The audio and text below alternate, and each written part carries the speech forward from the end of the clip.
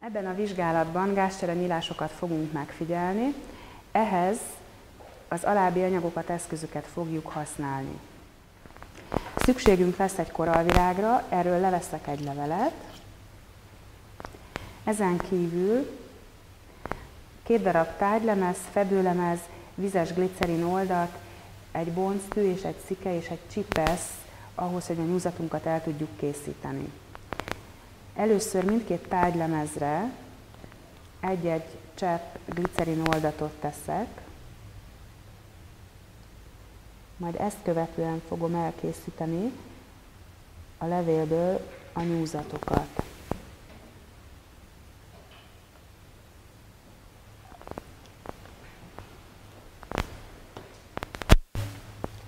A nyúzat készítésénél az egyik nyúzatunkat a levél színéből, a másikat a levél fonákából fogjuk elkészíteni. Meg kell próbálni bonctűvel egy kicsit beleszúrni a bőrszövetbe, és ha ez sikerül, akkor utána csipesz segítségével tudjuk elkészíteni a nyúzatot.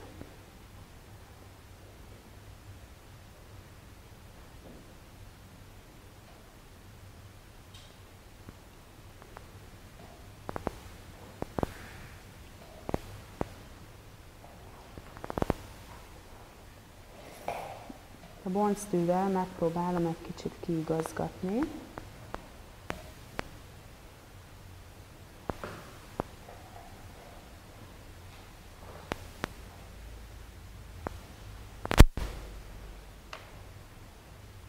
Ugyanezt a másik oldalán is megpróbáljuk.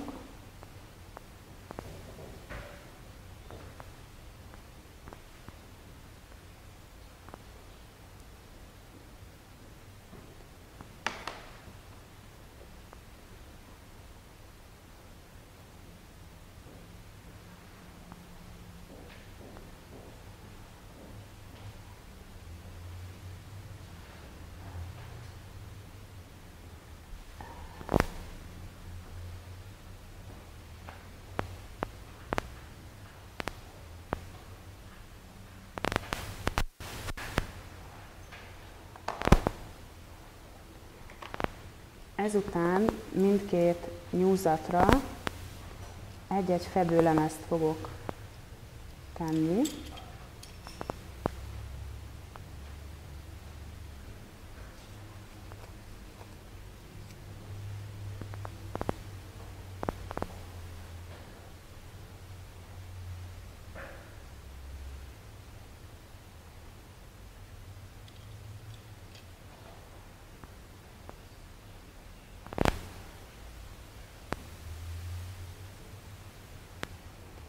Majd a mikroszkóba helyezve először a legkisebb nagyításon vizsgálom.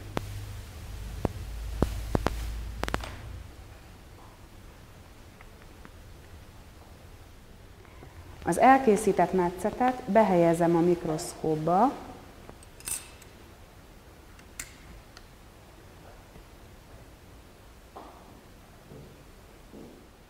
majd beállítom a megfelelő nagyításon a kellő tárgyasztal távolságot. A megfigyeléseitekről készítsetek rajzot is, ne felejtsétek el feljegyezni a nagyítást. A megfigyeléseimet 400-szoros nagyítás mellett végeztem. Megállapítható, hogy a gázcsere nyílásokból a levelek fonákán többet találunk, a két beállított látótérben a levélfonákon több gázcserenyílást, talán négyet is láttunk, míg a levél színéről készült nyúzatban csak egyetlen gázcserenyílás volt megfigyelhető egy látótérben. A gázcserenyílások közepén egy sötétebb rész a légrés, amelyet, amelyet két oldalról a záró sejtek határolnak. Ezekben több zöld szintest látható, mint bármely más részében a bőrszövetnek. Illetve láthatóak a bőrszöveti sejtek sejthártyái is, ahogyan egymáshoz kapcsolódnak a levél színén és fonákán.